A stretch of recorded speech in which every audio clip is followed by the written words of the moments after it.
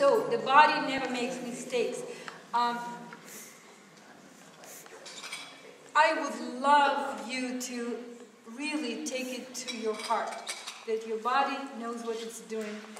And it's so difficult um, to trust that the body, because sometimes we get scared what if I die?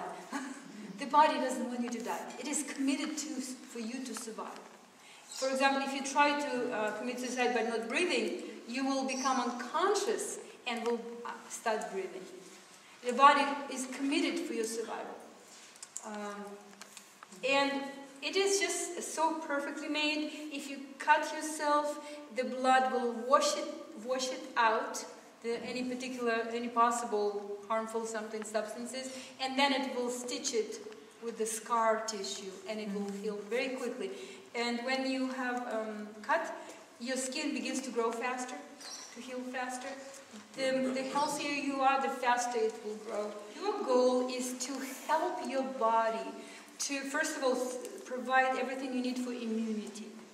Then you can travel around the world. You don't need to, to do any immunization because that's the only protection mm. against parasites. So vitamin C, vitamin A, vitamin D are three basics. If you have plenty of vitamin A, vitamin C, vitamin D, you have good immunity. What is the symptom of deficiency of vitamin C? Ability to bruise. If you're able to bruise, you lack vitamin C. Increase your vitamin C consumption until you cannot bruise. Until somebody hurts you and you don't bruise. Somebody grabs you, you don't bruise. Uh, tend to need more vitamin C as we age, and so that's why older people, when they take blood sample, they have the entire bruised elbow. Have you seen that? Yeah because they're so lucky. They actually have scurvy. They begin their teeth moving, becoming loose. That's scurvy. In our age, we have scurvy. And so, how can you uh, counteract it? Green smoothies. Because and and vitamin C you cannot take once a week because your body needs 90 milligrams per day for 24 hours. So you need to have it every day. You cannot take 180 today and nothing for two days. It it just falls apart very quickly, and it's antioxidants, and it kills also cancer cells, destroys them.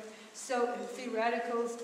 So uh, 90 milligrams of vitamin C, vitamin A, crucial. Green smoothies. Greens are the highest source of vitamin A, and vitamin D also. Uh, there is vitamin D2 in greens, and D3 is the one from sunshine, right? Do they? Do yes. Yeah. yeah. So um, nothing could substitute sunshine. I believe that it helps because greens are liquefied sunshine, and I know that people who were suffering from D vitamin deficiency, when they added green smoothies, they had less problem. I've been um, checking, I'm in touch with some people from Norway, from Sweden, from Denmark, uh, from St. Petersburg, and uh, they tell me that they take green smoothies, in the wintertime, they show less deficiency. Some, scientifically, it's not proven, but I don't care. I see that it does work in, practi in practice. Uh, I told you the symptom of vitamin D deficiency. Do you remember? You squint. You squint on the bright.